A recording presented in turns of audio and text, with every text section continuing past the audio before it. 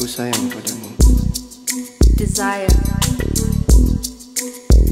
Aku sayang padamu.